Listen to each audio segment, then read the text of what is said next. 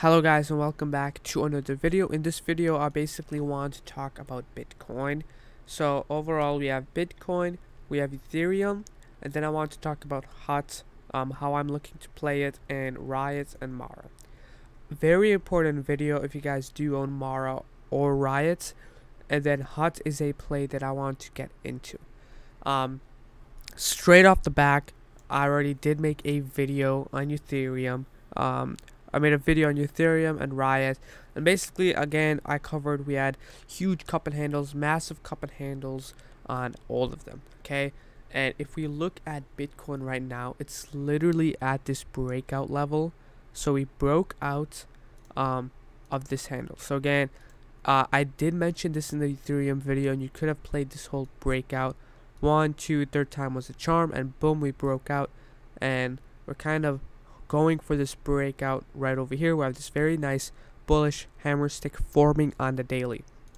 So what I'm looking at is a possible play, but I want to talk about Riot and Mara where I don't think Riot is going to be a play because it just moves so slowly and the thing is, it's a $26 stock, and I was looking at HUT. Okay, HUT has a lot of momentum. Okay, since it is a stock around $10, I mean, it was under $10, it is easier for the stock to move. So if more, more people buy it, it's going to move faster, and there's just more momentum to it. So I was looking at this play. We have this very nice cup and handle. Not only that, we have this very nice wick. So, not options only shares because um, options on it are very very weird. So what I was going to be doing was um, buying HUT shares. So I was looking at right over here and I was thinking that we could get a nice 20% off HUT shares. And then I would leave my stop loss around uh, 15% 10% so around 10% the stock alone went up 7% today, so that is very, very concerning. And over here, I'm looking at a possible breakaway gap. So a breakaway gap is kind of like, okay, we broke out of this huge uh, resistance and we have a start of a uptrend. So usually something like volume would show us it's a breakaway gap or um, if we just start creating another trend. So as you guys can see, we're getting some nice increasing volume right over here. But I'm looking at this resistance and overall we can reject right over here to form possibly a, a ascending triangle like you know like this but um, I'm looking to play shares slowly okay so very small position um, I was thinking 100 shares because maybe I can sell cash secured puts on or just um, do like that. Or I was just thinking doing a spread. And overall this is a very nice wick.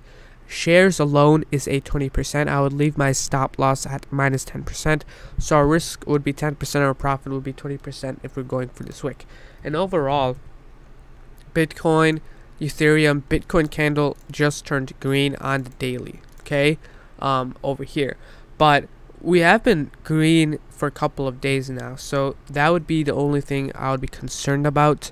Um, but we going in over the weekends um, with this uh, pattern is going to be very very interesting because if Bitcoin breaks out over the weekend and all of these you know HUT shares riot Mara are just going to skyrocket so i'm looking at HUT Again, the reasoning is, is simply because it's a cheaper stock and there's more momentum, so I don't want to do Riot.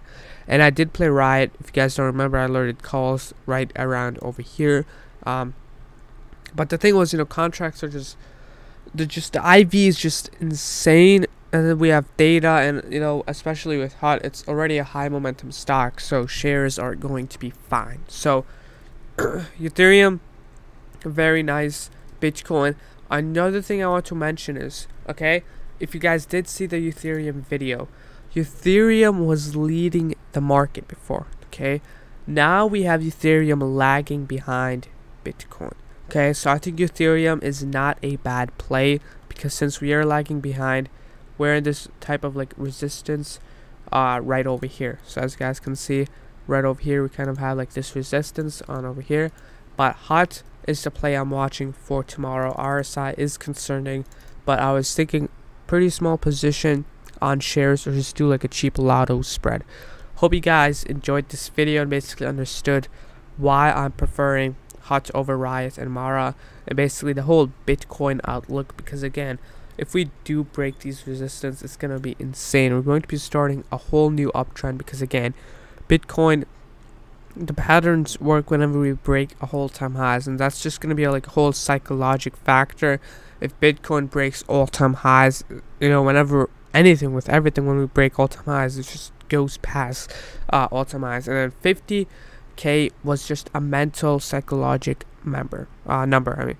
So overall HUT is the play that i'm watching and i think HUT is go is basically not the next mara or riots but it's just a better stock like if you're playing it for like the short term. I don't know about long term honestly. Um, i'm just talking about short term. And then mara did broke out of this handle which is pretty interesting um, right over here. So we have like this handle um, on mara. And i was looking if we have any gaps. But overall hope you guys enjoyed this video and thank you for watching